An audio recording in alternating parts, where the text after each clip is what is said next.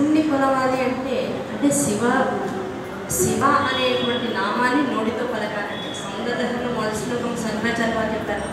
మా శివశక్త్యాయుతో యది భవతి శక్త ప్రభవితం నచే దేవో నకలు కుశల స్పందితం అతస్వామారాధ్యాం హరిహర విరించాదిభిరపి ప్రణంతం స్తోమం అథ కథమకుట పుణ్య ప్రభవతి అన్నారు. అమ్మ నిన్ను నేను తెలుసుకోవాలన్నా నీ నామాన్ని నోటితో జపించాలన్నా నిన్ను కావలసిన నిన్ను తెలుసుకోదగినటువంటి తత్వాన్ని గురువుల ద్వారా తెలుసుకోవాలన్నా ఇది ఈ జన్మలో ఇప్పుడు మాకు ఏర్పడినటువంటి జ్ఞానము లేకపోతే సంపద అనడానికి అవకాశం లేదు. ఎన్నో జన్మల పురాకృత కర్మ విశేష ఫలితం మా వెంట లేకపోతే నిన్ను తెలుసుకునేటువంటి అవకాశం మాకు జగత్తులో లేదు.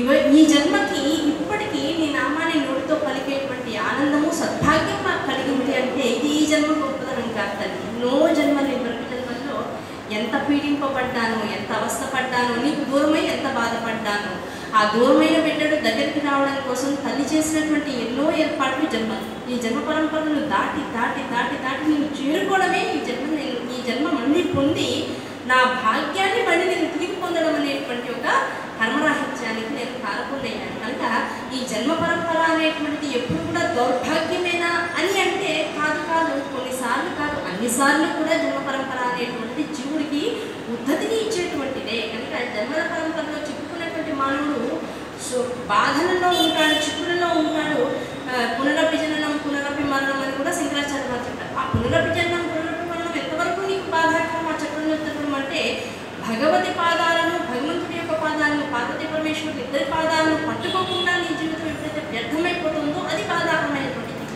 ఇప్పుడు వారిద్దరిని పట్టుకున్నావో వారిద్దరి వల్ల కలిగేటువంటి అనుభూతులు నువ్వు పొందడానికి నువ్వు సంసిద్ధుడు అయ్యావో కష్టం వస్తే ఈ కష్టం నాకు భగవంతుడు నా మంచి కోరే ఇచ్చాడు. నాకు సుఖం వచ్చింది. అహంకారం పెరగకుండా నన్ను ఇలా ఉండవని ఆజ్ఞాపించడం కోసం నాకు వచ్చిన చెడుకు వేశాడు. ఈ రెండింటిని ఈ రకంగా తీసుకుంటూ దుఃఖాన్ని సుఖాన్ని కూడా ఏకకాలంలో ఒకే స్వరూపంగా కనుక దర్శించి ఈ రెండు కూడా అమ్మ అయ్యా నాకు ఇచ్చినటువంటి సత్ సత్ ప్రవర్తనకి నాలో పెరగవలసినటువంటి సద్గుణాలకి ప్రాణికంలే కానీ నేను అనుభవించడం కోసం కాదు అనేటువంటి నిజాన్ని ఎవరైతే త్రికరణశుద్ధిగా నమ్ముతాడో అటువంటి వాడికి శివజ్ఞానము అబ్బింది అనేటువంటి అటువంటి శివజ్ఞానం ఎప్పుడు వస్తుంది అంటే శివశక్త్యాత్మకమైనటువంటి ఆ సమయాచార స్వరూపాన్ని నిత్యము దర్శించి అనుభవించి సర్వకాల సర్వావస్థల ఎందు కూడా వారి నామాన్ని నోటి ఎందు నిరంతరము చక్కగా ఆ జపాన్ని చేస్తూ ఉండేటువంటి వారికి మాత్రమే అటువంటి అనుభూతి కలుగుతూ ఉంటుంది. అందులో ఈ లింగ స్వరూపంలో ఉండేటువంటి శివుడు ఎవడైనా అంటే ఈ జగత్తంతటికి కూడా ముందు తాను తనలో తనలోనించేటువంటి పరిపూర్ణ పరబ్రహ్మం. ఆ పరిపూర్ణ పరబ్రహ్మము నుంచే తాను చిన్న కోరికగా చిన్న మార్పుగా తాను అనంతమవ్వాలనేటువంటి సంకల్పంతో శివుని ఎందు జన్మించినటువంటి ప్రేరణగా తల్లి యొక్క ఆవిర్భావం జరిగింది. ఆవిడ అనంతమవ్వాలనేటువంటి కోరిక రావడంతో ఆవిడ నుంచి ఆవిడ ముఖమండలాన్ని ఎప్పుడూ ఆవిడ ఆవిడకి ఆయనకి ఒక కోరిక ఉంటూ ఉంటుంది. ఆవిడకేంటి? శివుడు ఎదురుకుండా పడంగానే ఆయన పాదాలు నమస్కరించాలని కోరిక. ఆయనకు అభిషేకం చేశారు. ఆయన కోరిక ఏమిటి? ఎప్పుడు అమ్మవారు నా దగ్గరికి వస్తుంటే ఆవిడ ముఖమండలాన్ని చూడాలని కోరిక ఆవిడ ఎప్పుడు కాళ్ళ వైపే చూస్తుంటుంది తలదించుకుంటుంది ఆవిడ అలా చేస్తూ చేస్తూ చేస్తూ చేస్తూ చూ కొన్నాళ్ళకి ఆవిడ అలాగే గబగబా పరిగెత్తుకుంటూ వచ్చి వాళ్ళు వచ్చారు అందరు కానీ ఆయన కాలు ఆవిడ కాలాలి ఆ ఇద్దరికి ఎలాంటి సంబంధం అంటే ఈ వచ్చాడు అంటే ఆవిడ వెంటనే చెంబడుకు రెడీ అలా అయిపోయి ఆయన పాదాలు దొరకగానే మళ్ళీ నీళ్ళు పోసేసి కడిగేద్దాం అనుకోగానే ఈసారి ఎలాగైనా సరే మా ఆవిడ చూడాల్సిందే అబ్బా ఎలాంటి అయితే కోసం మరీ కారణం.